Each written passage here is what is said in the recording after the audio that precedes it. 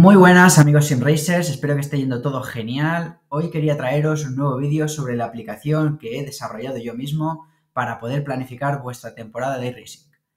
Los que ya conozcáis la app y miréis el vídeo anterior sobre ella, ah, encontraréis que todo es muy similar, tan solo que he añadido algunas actualizaciones a la aplicación, pero si me lo permitís explicaré igualmente cómo funciona para los que no lo vieran ni conocieran la app.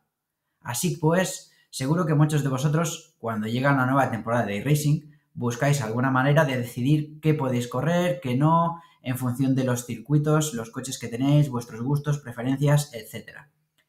Esto se puede conseguir de varias formas, desde el PDF oficial que ofrece Racing hasta algunas webs o excels. Pero a mí no me acababa de convencer ninguna, así que decidí desarrollar mi propia app a mi gusto. Y os voy a enseñar aquí el resultado. Para poder usar la aplicación, lo primero que tendremos que hacer es descargarla. Para eso os podéis venir a esta web de aquí, que también os dejaré en la descripción del vídeo. Venís al apartado Releases y descargáis la última versión. En este caso pone 2023 temporada 1, pero cuando estéis viendo el vídeo ya estará disponible la temporada 2. Descargáis este fichero, que yo ya tengo aquí descargado, y simplemente ejecutáis este punto .exe de aquí. Una vez la app arrancado, podréis ver esta pantalla.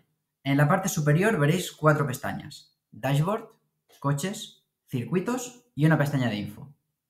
En esta primera pestaña veremos una tabla que contiene todas las series de racing para la temporada actual y para cada una de ellas tenemos su nombre, la licencia mínima para correrla, el tipo, es decir, si es oval, si es carretera, dirt, los coches con los que podéis correr esa serie, si es de setup fijo o abierto, cuántas carreras puedes correr y a partir de aquí el circuito que se corre cada semana.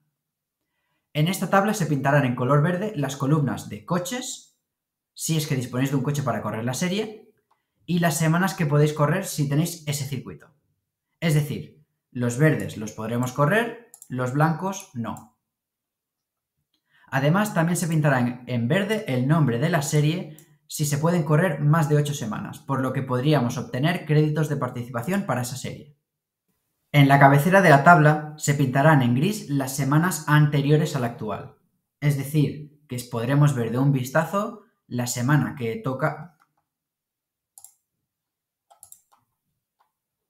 En la cabecera de la tabla se pintarán en gris las semanas anteriores a la actual. De esta forma sabréis de un simple vistazo en qué semana estáis y qué toca correr.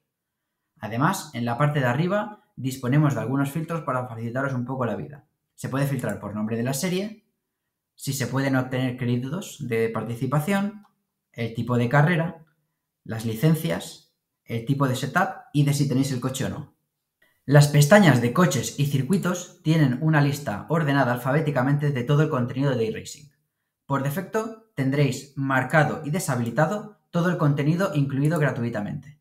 En estas pestañas tan solo seleccionad el contenido que tenéis en vuestra cuenta y la tabla en la pestaña Dashboard recalculará automáticamente qué podéis correr y qué no. Vamos a ver algún ejemplo. Si queréis ver qué podéis correr con los coches que tenéis de tipo Road, aplicad estos filtros de aquí y ya tenemos filtrado y podemos ver de un vistazo y de forma rápida qué podemos correr. Si queréis ver qué podéis correr y conseguir créditos de participación, aplicad este filtro de aquí. Actualmente la aplicación solo tiene soporte para la temporada actual de iRacing, por lo que de momento en cada temporada tendréis que descargar una nueva versión e instalarla. A futuro tengo planeado un cambio para que la aplicación se autoactualice con las nuevas temporadas. También es posible que notéis que solo aparecen las series que tienen 12 semanas. Las que tienen menos por ahora no aparecen. Esto también tengo planeado a futuro arreglarlo para que podáis ver todas las series independientemente del número de carreras. Además, tengo también en mente algunos otros cambios y mejoras visuales, pero tened en cuenta que voy mejorando la aplicación en mis ratos libres y cuando puedo.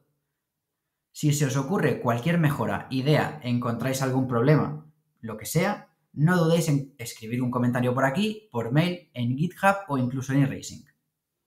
Y nada más, espero que sea de vuestro grado, que sea súper útil y no olvidéis de suscribiros, dar like y dejar vuestra opinión en los comentarios.